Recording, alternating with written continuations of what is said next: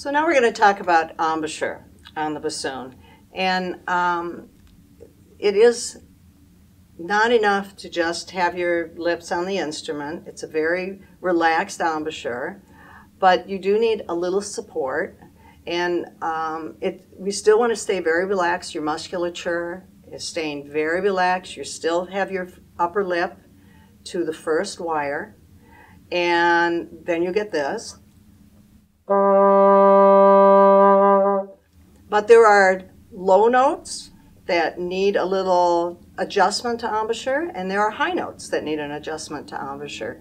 And you have to keep all of this the same, all your musculature, but your internal embouchure, your upper palate and your throat can be changed by using different syllables.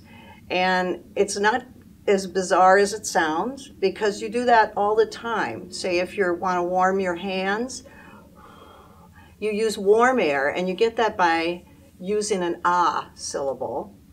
If you want to cool your cocoa or cool your tea, you go and that's an e sound. So ah to e is what we're going to be doing as we go from low register to high register. Low is always ah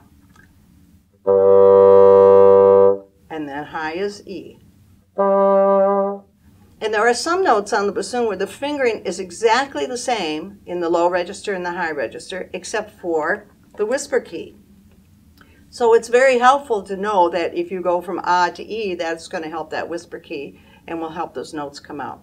So first we have A, uh. B flat, uh. B,